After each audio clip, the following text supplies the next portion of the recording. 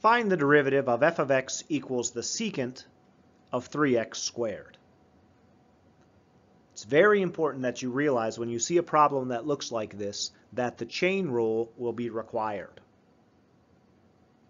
If f of x was just equal to the secant of x, it is stated that the derivative of f of x is simply the secant of x times the tangent of x. But a more specific definition of the derivative of f of x equals the secant of x is described with the chain rule. If f of x equals the secant of u, then the derivative is the secant of u times the tangent of u times the derivative of u.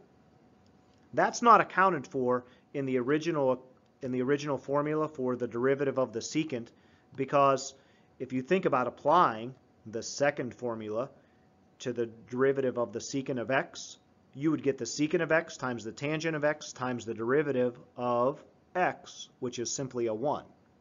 So if you're taking the derivative of the secant of just an x, then you don't have to worry about multiplying by the derivative of what's inside the parentheses at the end because it's always just a 1. But as soon as you're taking the derivative of the secant of something other than just an x, we have to think about the second definition of a derivative of a secant. Let's apply that to the derivative to find the derivative of f of x equals the secant of 3x squared.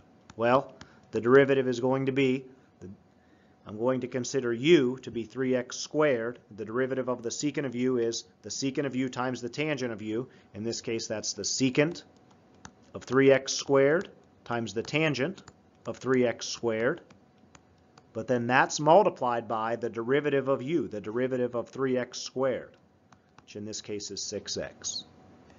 I'll write my final answer with the 6x in front of secant 3x squared times tangent 3x squared.